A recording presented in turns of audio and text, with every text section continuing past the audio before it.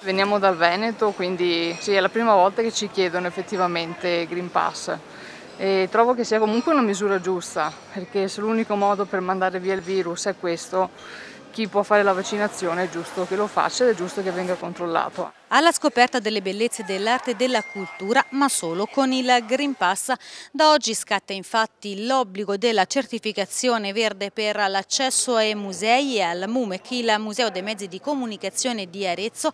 A chiederlo ai visitatori sarà direttamente Emilio, il robottino vero e proprio icona degli anni 90 è stato un modo un po' per smorzare anche tutte le tensioni comunque che si eh, sono registrate un po' nei giorni scorsi dopo la notizia di questa nuova modalità di ingresso all'interno delle strutture eh, museali.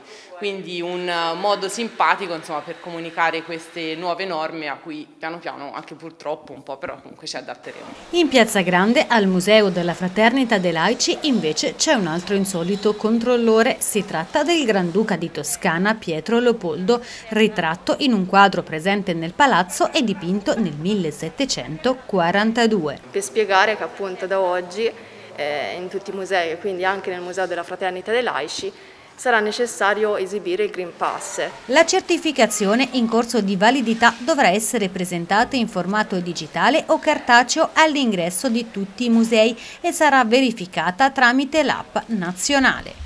Prima appunto di fare il biglietto viene fatta la scansione con questo dispositivo.